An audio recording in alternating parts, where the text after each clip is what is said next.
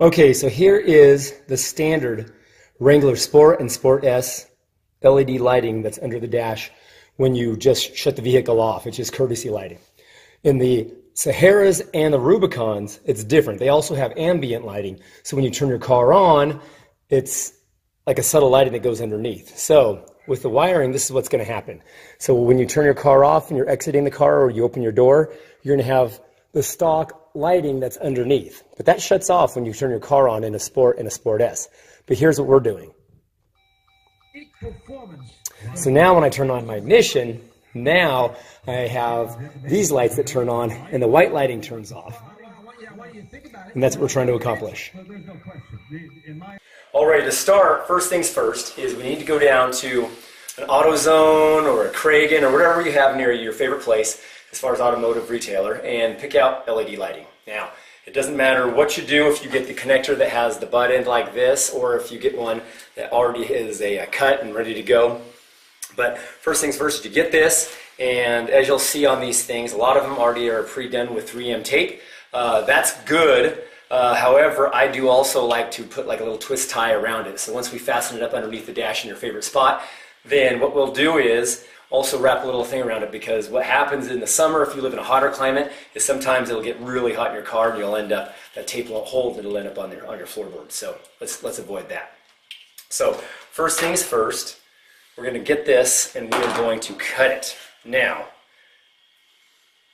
we'll cut those off and what you'll see inside of here a lot of times is you'll see a positive, uh, positive and negative uh, side. So what we're going to do is so you're not running two different sets of wires through your dash. We're going to splice we're going to splice these all together into, pardon me,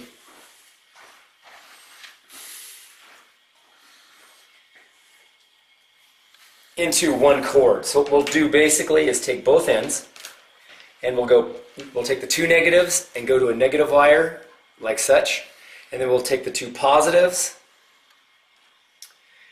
and we'll put them together and wire them up as such so that in the end you only have to run one, one set of wires through your dash. Now, as far as connections go, there's a whole moral outrage if you do it one way or if you do it with butt connectors or if you do it however you, some guys use, use duct tape. We're not here for that. Uh, we're here to show you, you know, how to do this. So uh, comment as you will, but this is, this, is, this is how we're going to do it. Okay, what you'll need to do this install is very simple. I like to use nylon basically nylon trim tools. I like these because they don't scratch anything, you don't have, they're durable, and it pops everything right off. Pretty simple. Yes and no, you could use a meter or your favorite test light. The biggest thing for these is to make sure uh, you know, you're, you're clipping into the right wires. I'm going to tell you which wire to clip into, but if you're doing it on your own, you want to make sure to uh, go to a ground and then you're trying to find which wire is going to be, well, to your choice also, a lit control uh, light control circuit or your ignition circuit. Also some wire cutters and really the only screwdriver you need is a Phillips head screwdriver. Okay, so let's fast forward, and now we're sitting inside of our JL Wrangler. And the first thing we have to do is we have to assess this dash, because what we want to do after we have already stuck up our lights underneath and we've already ran our wires through, through the back of the dash, is now we have to remove this trim here. Fortunately for us, the JL Wrangler is very, very easy to do. So what you want to do is you focus in right here. We're going to take our trim tool and I like to use these nylon ones because they're really durable and they don't really scratch anything. But And just use gentle pressure and pull towards you. And once you kind of start to get it off, then everything is connected with these pressure clips in the back. So just be careful not to yank it too hard. You just want to use smooth and steady pressure. And when I get this out here, you'll see exactly what I mean. So you pull out right here, and these are just the pressure clips right here. That's the only way they're held in. There's no screws or anything like that. So, so they remove pretty easy. Now on the back, there's a clip right here. You to unclip this right there, fairly easy. And now here, go over to your ignition side, and same thing. You're gonna hit this clip right up here on the top, and you're gonna pull it out. Just use some steady pressure, and now this is released, and we can set it aside. Alrighty, so now that we have that taken apart, I'm going to fish my wires. Now these are the wires that we showed earlier that we already pre-wired. And this is the reason why you only want one set of wires, because otherwise, if you did both sets from the passenger well and the, the driver's footwell, you'd have four wires up here, and it's just it's, it's a little messier and it's easier to do because you can actually do the soldering and everything of those outside of the Jeep, so you don't have to worry about being up inside here. So this is really just to make it easy and simple. So now that we we do this, I like to pull the wire up through the driver's side well and up through where the ignition solenoid would sit. So I pull these up and I actually, if you, if you notice, I've already pre-done mine, as you'll see right here. I ran them behind the back of the deck, and I pulled them out from, from here. So I'm going to take the ground after I do that, as you see right here, and this screw goes into the chassis, which means it's a good ground. So I'll pull this screw, and this, for example, again, going into the dynamics of things, you do the things you want to do, I'll do the things the way I want to do it, but, but really, what you want to do is you want to put a grommet on here, and I like to solder everything up nice and tight, and then I'd remove this screw, and I would put it into there, and I would just and screw it down, and you have a nice solid ground. Now, once that's done, all I have left to wire is my hot side. So how do you get to the hot side? I like to wire mine up to the constant or to the uh, switched power, which goes into my well, we used to call them cigarette lighters. Now we're calling them, you know, cell phone chargers or whatever you want to call it. But basically, there's a screw right here. We're going to un undo that, and just like the Show climate the control, again. screw goes right here. So Oh, this okay, screw is just a screw. That's all. It's the only screw you have to remove. It goes right here. It's just a uh, regular Phillips head screwdriver. Pull it out. Put it in a safe, uh, safe place so you don't forget it. Now, just like just like the the climate control side, this right here is also just pressure. All it is is pressure clips. Just pr- nice and steady pressure, little bit, little bit, and it'll pop just like that. Don't be afraid. Just don't use too much pressure. It'll come. You just have to coax it. Just like that. Don't worry, you're not going to break anything.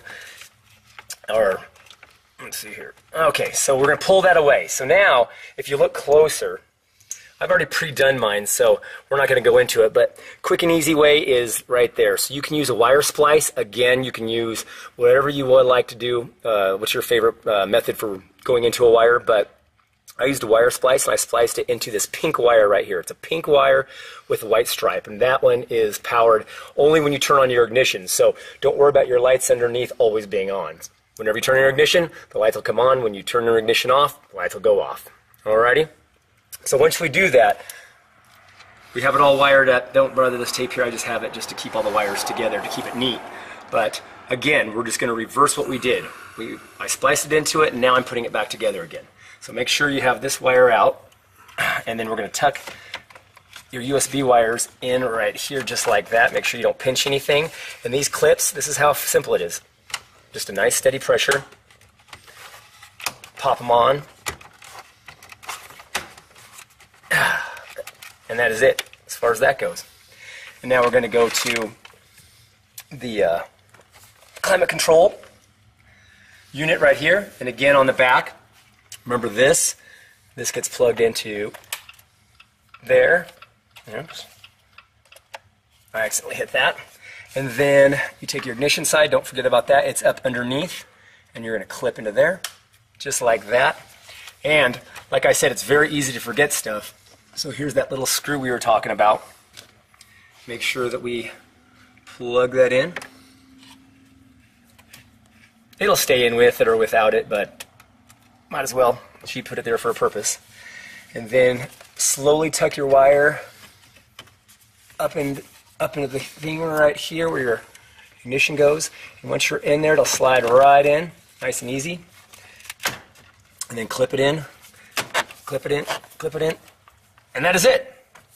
It is really that simple. Literally, this should take you from beginning to end, maybe 15 minutes, maybe half an hour if you really kind of know what you're doing.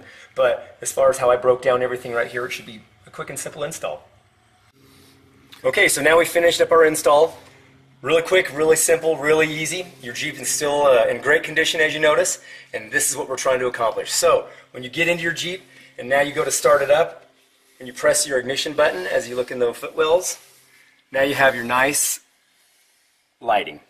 The weird thing about this is on film it'll show it as being a lot more intense than it really is in real life. It's just a nice little lighting. But that also depends on whatever kind of LED light you choose. But for the most part, at night when driving around, it really, really helps as far as if you drop something or, or it's just it adds a nice touch to your Jeep. So really thinking about doing some other videos, guys and girls. Uh, kind of depends on if you have any questions. I've virtually taken apart this Jeep and redid everything. I've been inside, outside. So if anybody has any questions on how to do things, please subscribe. Uh, we're actually thinking of doing a channel. It depends on your interest or if you have any suggestions. Uh, we're up for it. Uh, but thank you for watching.